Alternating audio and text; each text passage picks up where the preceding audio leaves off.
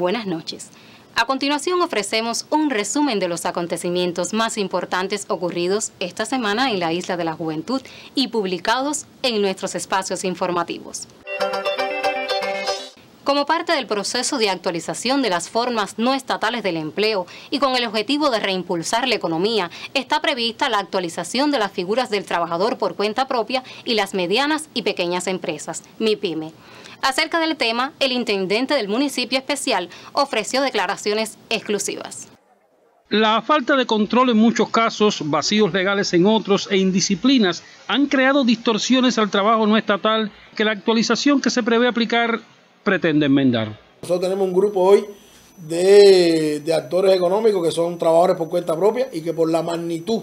de la actividad que realizan, o sea, los montos en ingresos que hoy están obteniendo como, como actividad económica y de igual manera con la, cantidad de socios que la, ley establece, la, norma establece con claridad que nada más puede tener un trabajo por cuenta propia hasta tres socios,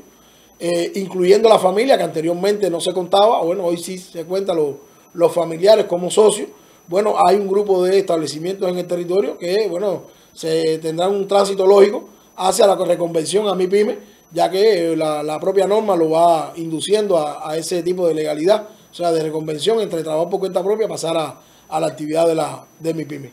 El grupo de, de, acción que está visitando las MIPYME, que está visitando los TCP, como parte también de su visita, va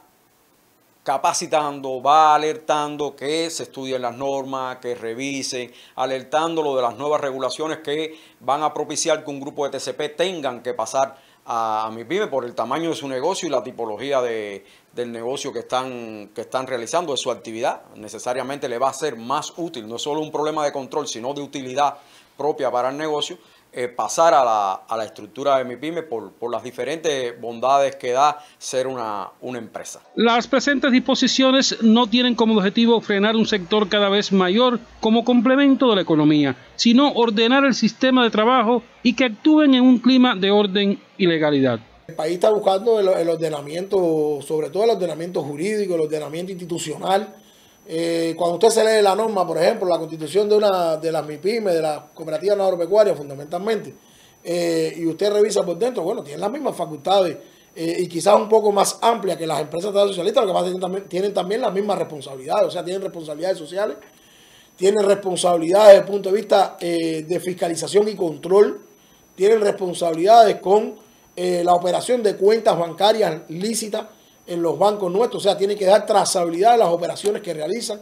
tienen que tener su aporte correspondiente a la UNA, tienen que respetarle el derecho laboral según establece el Código de Trabajo. O sea, son cuestiones, legislaciones que están vigentes en el país y que, aunque sea una actividad del trabajo no estatal, tienen que adecuarse y acogerse a las normas establecidas para, todos en común. O sea, buscando el escenario que se planteaba también en, en el Congreso del Partido, que sería entonces la igualdad, o sea, hacer la actividad económica en, en escenarios iguales, tanto para la empresa estatal socialista como para, para la MIPYME o los actores de la economía no, no estatales. Siempre recalcando que el actor fundamental del desarrollo económico del país es la empresa estatal socialista y por eso no, siempre nos vamos a referir y el Consejo de Administración de la Isla de la Juventud siempre va a defender que lo que estamos buscando es que exista la armonía en el trabajo entre la empresa estatal socialista y que los actores de la economía no estatales sean ese complemento de lo que hoy nos está faltando para poder dinamizar e impulsar el desarrollo de, estas empresas estatales socialistas. Noel Otaño, la Visión. La producción de alimentos y el análisis de la marcha del programa de medicina natural y tradicional, entre otros temas, centraron los debates en la última reunión del Consejo de la Administración. La evaluación de los resultados de la campaña de siembras de viandas, hortalizas y granos en la etapa primaveral y los preparativos para enfrentar la temporada invernal centraron los debates de los miembros del Consejo de la Administración Municipal en su última reunión.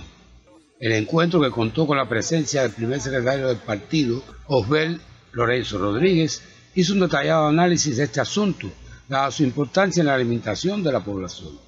Los participantes, si bien conocieron los sobrecumplimientos en general de los compromisos primaverales, hicieron fuertes críticas por los incumplimientos en los programas de arroz y plátano, donde se percibe falta de iniciativas e inmovilismo para su materialización. Para la etapa que se avecina, con crecimiento de los propósitos, el dirigente político instó a una mayor vinculación con los productores y prestar atención priorizada a la contratación. Otro tema que requirió la atención del órgano administrativo estuvo relacionada con la producción de medicinas naturales, donde los resultados hasta la fecha son insatisfactorios, un programa que adquiere importancia vital ante la falta de medicamentos industriales. El CAM pasó revista igualmente al cumplimiento de la Ley 1288 de recuperación de materias primas, donde se perciben serios incumplimientos por varias empresas para copiar los desechos que generan. Y se valoró la incorporación de los nuevos actores de la economía, en la captación fundamentalmente de papel y cartón. La marcha de la producción local de materiales de la construcción, la estrategia de desarrollo y el uso de la contribución territorial y la evaluación de los subsidios fueron programas que acapararon tiempo en la agenda de este órgano administrativo. Pedro Blanco Oliva, La Visión. Hasta aquí este resumen de noticias. Tenga usted una feliz noche de sábado. Gracias por su compañía y hasta un próximo encuentro.